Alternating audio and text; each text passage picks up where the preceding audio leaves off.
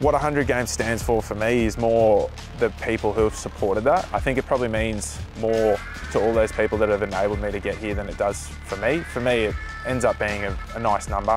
For my parents, they've put in a lot of time from school till now. I think my dad's probably lived vicariously through me since about under 10s. I think in terms of teammates, they think I'm professional.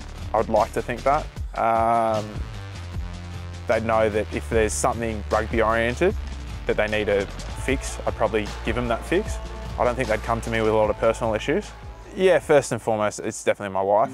So we started going out 2011, just when I finished school. And so she's been part of the, the whole aspirational ride. I don't think she knew what she was getting into when we first started going out. And so she's been through all the hard times of that first year post school. I actually didn't play rugby at all for the first year. I had um, like three surgeries on my knee. I tore my cartilage. But yeah, Amelia's been great through it all.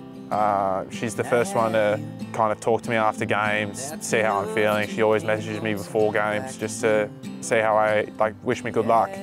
Um, she's the one who gets angry when I don't talk to physios, don't tell them that I'm sore, and she gets genuinely angry too. Yeah, I remember it. We were like camped down on their try line. I think Nick Phipps just threw me a ball. And oh, so close. Say it was just on the toe of paint. I was pretty, pretty close. There's one highlight that sticks out in terms of uh, we played the Reds when I was with the Waratahs in 2018. There was a kick, we received it. I remember reloading back to what would be the right, our right-hand edge and then gave it to me. And I remember going down the edge, managed to get on the outside of Samu Kerevi and then ran maybe like 15, 20 more, got to the fullback and shot a pass to Jake Gordon who ended up running 40 metres to score. And now it is Jake Gordon in terms of an in-game highlight, that's that's kind of up there. Just in terms of, there's not much attacking side of the ball highlights for me. I've always been a bit more defensive oriented. It's been really nice engagement with some of the fans after game.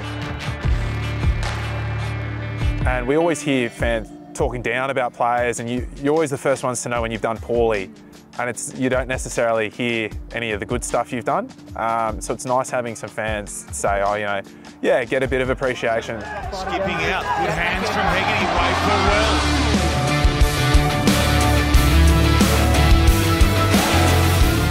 Tiatia, throwing the kick through, oh, sensational.